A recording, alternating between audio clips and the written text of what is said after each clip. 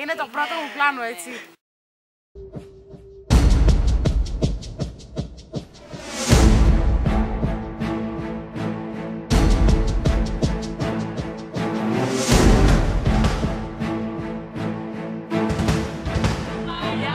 Παντού να σκορπίζεις τις γνώσεις στο φως και